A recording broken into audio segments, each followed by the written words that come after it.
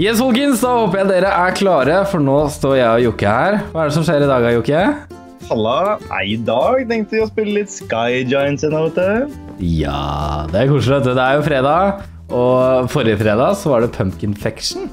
Det var jo, Ja. det var jo ganske interessant. Det var kult, da. Ja, det var veldig, veldig kult. Veldig, er veldig annerledes. annerledes. Ja. Akkurat det. Akkurat det det var, men det var veldig kult med en liten vri. Ja. En liten ny vri. Så nå er vi tilbake med Sky Giants. Det er jo faktisk eh, to uker siden jeg spilte det sist.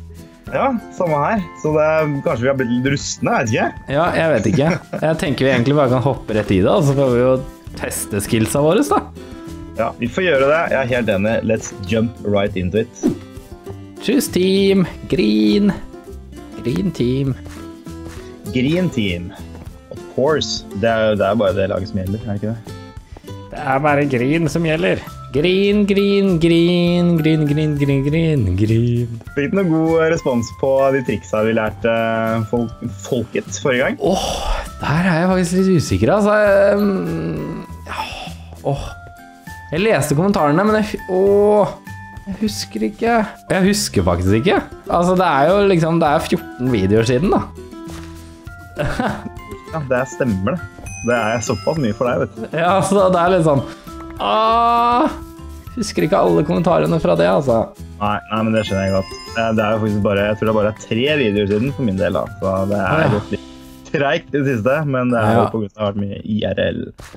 IRL er viktigst. viktigst. Mhm. Men du, Yes. i dag så tenkte jeg vi skulle ha et lite tema for selve episoden. Og det er jo det at uh, når du får en lungetransplantasjon, f.eks. Så lungene er jo egentlig kjøtt, sant? Du er enig i det? Ja, altså det er noen som vil se det sånn, sikkert. Ja, altså det er, ja, det er jo det. det er jo kjøtt. måte, Altså, ja. alt inni kroppen er jo kjøtt og sånn. Ja, det, det er sant. Ja. Um, men når du tar ut lungene av en mann, Ja, så putter du det ned i fryseren for å, for å holde det i live. Sant? ja. Eller Um, for å holde, liksom, eller for å holde bakterier og sånn unna, i hvert fall. ja, men du er jo fortsatt enig i at lungene lever. Ja, eller, jeg veit ikke, altså, mener du virkelig det? Lever de fortsatt? Ja, siden når de blir putta inn i en annen mann, så fungerer de. Ja, altså hvis man kobler dem opp igjen. Det er litt sånn som å koble fra et, et skjermkort. Ja, ja, men altså Det er jo levende organismer. Ja, men åssen fungerer det der egentlig?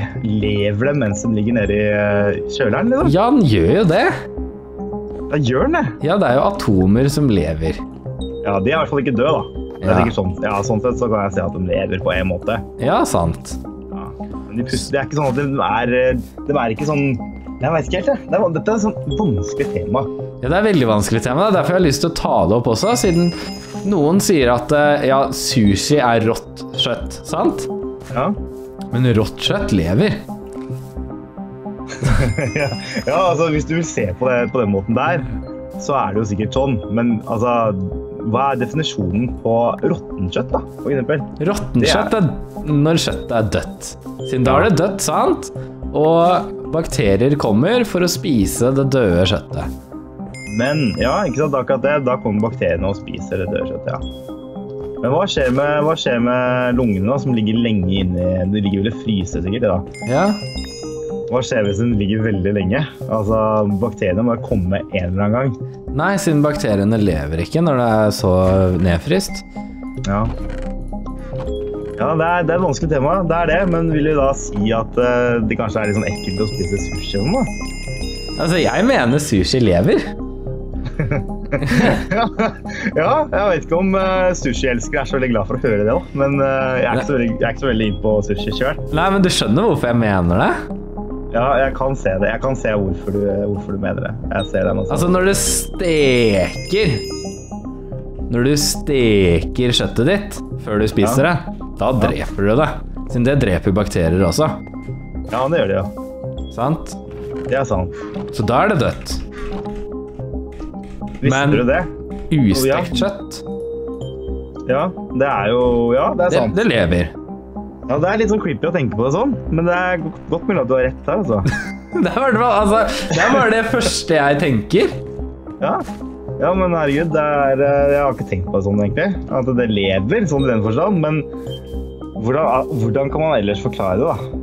Ja. Jeg prøver liksom å, å finne et uh, måte å forklare det på, men det er litt vanskelig. Ja. Altså, det er jo veldig spesielt, da, Ja. å tenke på. Men så tenker jeg at eh, det er jo faktisk sånn det er, da. Så når du går og kjøper kyllinglår i frysedisken på Rema Ja, rått. Rått. Da er det i live. ja, men kunne, kunne eksempel kyllingrør blitt montert igjen på en kylling? Ikke? Kunne det blitt montert? Det høres helt absurd ut. Men ja, jeg tror faktisk det. Hadde det blitt gjort på riktig måte. Ja, en veldig komplisert operasjon i hvert fall. Men Ja. det er jo helt bisart hvis det hadde vært mulig. Nå er ikke jeg noen lege eller kirurg, eller jeg har ikke peiling på sånt nå, egentlig. Nei. Jeg veit bare det at altså, jeg kan spise, liksom. Jeg er veldig Ja, nettopp. Så det, det er ikke min ekspertise, men øhm, det er en interessant problemstilling, holdt jeg på å si. ja, den er jo Den er jo annerledes, kan man si. Ja, det, det er sant. Oi, nå er det meg. Ja, ja, jeg er på'n. Jeg er på'n. Der, nå er han vekke. Men du, hva syns du om sushi? Syns du det er godt? Du, jeg spiser ikke mat som svømmer. Å, du gjør ikke det, nei? Nei, Ok. mat nei. svømmer ikke.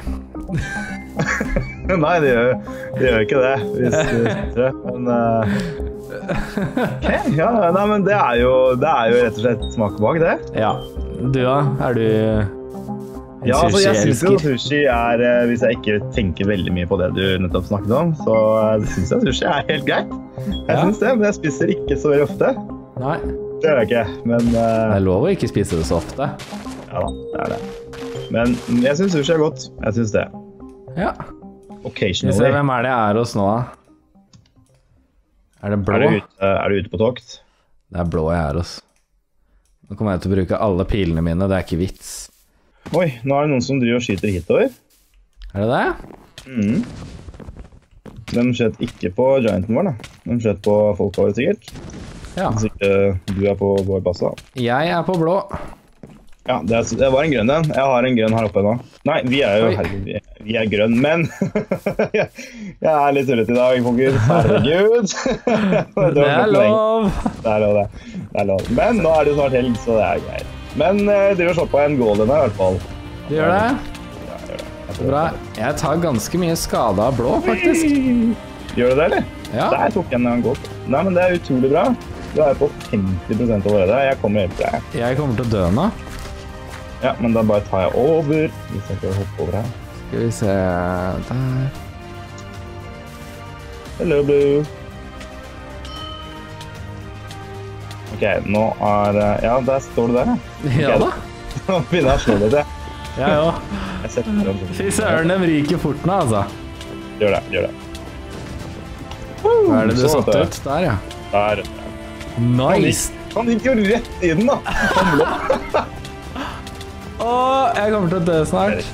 Ja, jeg, jeg datt ned, jeg. Jeg skal prøve å redde deg, jeg skal redde deg. Kom dere vekk. Å, der, ja. Jeg fikk den ut, i hvert fall. Skal vi se 100, 97, 78 60, 47, 37, 28, 19, 10 Bye bye. bye, bye. Nice! Herlig. Det er bra jobba. Det der var veldig nice. Da har vi faktisk tatt ut de. Da burde vi jo gå for magenta eller noe, da. Ja, skal vi gjøre det? Vi går rett på Magenta. Magenta er jo alltid et eller annet skummelt med, så vi får håpe at de spiller rent denne gangen. Kjøper en regeneration-pott. Og så kjøper jeg litt mer piler. Sånn. Same here. Jeg kjøpte piler og uh, Golden Apple. Nice! Oi, da er det noen som angriper oss. Skal vi backe? Ja, oi, vi går veldig fort ned, så vi burde gå tilbake. Recall. Der, ja, nå ser jeg det flyr nedover. Vi må bare ta den litt. Der har vi en, vet. Det er en Magenta som er her, så det er bra vi tar ut de etterpå. Er den så heftig, han der, eller? Én Ja, person bare kjører så hardt? Ja, tydeligvis. Det tok okay. Ja, men da går vi rett for magenta. Det der var ikke greit, ass.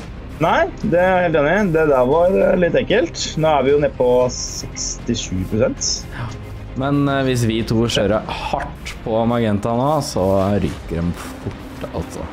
Ja, vi får bare gunner på. Der kommer han duden. Oi, er han på vei tilbake allerede? Oi, nå rykker gikk jeg godt. Vi får se om han kommer, da. Ok, nå er jeg straks hos Magenta. Ja, du er det? Ja, Jeg ser deg der. Bra. Du har ikke mulighet til å ta, komme og dytte han her ut, da. Hvor er du nå? Å, der, ja. Jo, jo. Siden han ser ikke deg nå, vet du. det er sant. Han er fullt konsentrert på deg, nå. Det kommer en bak deg. Ok. Oi. Ja, kom igjen da! Kom igjen, kom igjen, kom igjen! Ja, jeg fikk ut av den i hvert fall! Nei, jeg hoppa ut! Ok, Nei! jeg fikser vår base. Du tar Magenta. Ja, greit. Jeg kjører på. Jeg har ti sekunder respawn-tid. Å òg. å ja, du døde du også? Ja, jeg falt ut for akkurat det. Men herregud, Magenta er jo en stor utfordring her nå. Det er Gold som faktisk er hos oss. Ja, De er litt farlige, de òg. Ok, jeg bare løper rett på Magenta. jeg. Ja, gjør det. Oi, oi, oi. Skal vi se, han må bare ikke dette ned her nå. Det er så typisk. Wow! Er det med oss igjen? Er det samme Nei, nei, det er bare en pil. De er litt eh, heavy, de Magenta-folka. Ja, de er det. Der, han er ute. Ok, vi ble angrepet på alle, av alle vi nå. Ja. Ja, han er ute. Ok, da må vi bare gunne på. Oi, se, de har bygd inn den, den greia. Ja, de har det. De her har gjort en god jobb på defensen. Hva gjør vi da? Ok, vi må bare hogge oss gjennom her. Jeg har ikke noe pickaxe. Jo, så klart Ja, har jeg, jeg vet du, jeg er inne, jeg er inne. Jeg Er du inne? En inngang der. Ja, jeg hoppa inn. Jeg klarte å hygge meg inn til Gianten, og nå skal jeg å slåss med Gianten, eller slå på Gianten, i hvert fall. Bra. Herlig det. Der kommer det inn. Jeg prøver bare å holde meg i live. Ja. Sliter du med håpet, eller? Ja, litt. Ja. Men jeg kommer meg inn nå. Nice. Jeg, eh, det er to andre her, ser. Ja. Men nå får vi gjort ganske mye skade på han. Ja, vi tar ut han her nå, vet du. Nå er han jo ferdig. Åh! Damage! Ja, Fy søren, da er det bare å gå rett i gull. Ja, vi må bare gønne på. Å nei! Ok, vi må hjem først. Vi må hjem først. Jeg tror du Jeg, jeg går hjem. jeg går hjem. Du kan bare fortsette, OK?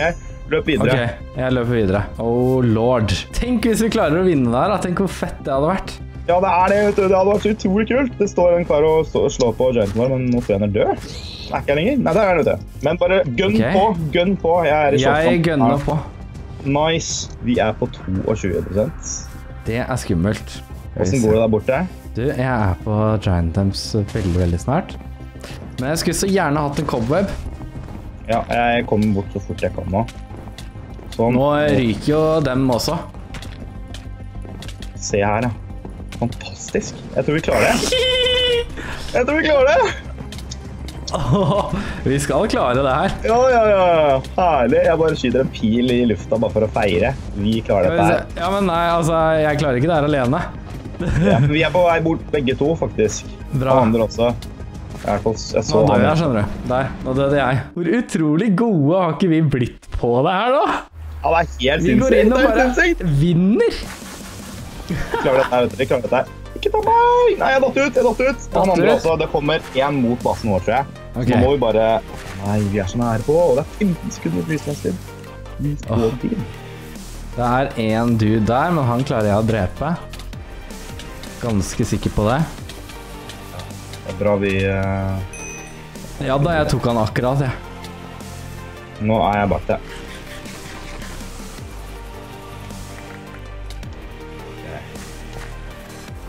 Det var så fint hvis jeg traff gianten sånn. Klarer du å treffe gianten? Nei. Ok. Jeg prøver å gå litt rundt, jeg, OK? Ja, prøv på det. Ok, Så nå er jeg ute på et lite solomission her, bare for å avlede dem litt. Åssen går det der borte? Det går veldig fint. Ja, nice, nice. Hvor mange er de egentlig? Ja, vi er De er mange. ganske mange. Oi. Jeg tar bare saferen. nå. Ah! Skal vi se. Oi, jeg ser det. Ja, bare fortsett. Jeg holder, jeg holder meg her, jeg. Jeg tror jeg traff denne. Nice. Nå er jeg straks på basen deres. Det er kjempebra. Jeg er på øya deres i hvert fall. Håper ikke de ser meg nå. Nei, det håper ikke jeg heller. Vi se, siden jeg har kjempelitt liv. Nå er jeg bak der, og jeg hopper over til gianten, og nå slår jeg på gianten! Bra! Jeg er inne! Ja, kom igjen! Ja! da! Ja! Fantastisk! Herlig. Nydelig teamwork. Det der var helt rått. Alle fokuserte om eh, frontgate, og så bare kommer du bak og finisher.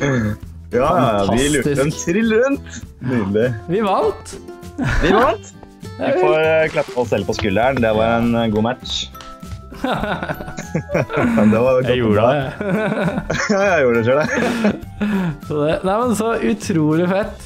Ja, det var herlig. Det var deilig. Da kan vi ta helg med god samvittighet. Det kan vi gjøre. Så det. Ja, men tusen takk for at uh, vi fikk spille, da. Ja, tusen takk for, for det. Og så får vi bare ta det igjen snart. Det får vi gjøre, vet du. Så snakkes vi. Det gjør vi. Greit, det. Ha det godt, da. Tusen, tusen takk for at du så på. Det betyr utrolig mye. Ta gjerne og Sett igjen en tommel opp. Abonner hvis du ikke har gjort det. Del gjerne videoen til alle dere kjenner også til. Så ses vi igjen i morgen. Og stay awesome, for det er du. Og ha det bra!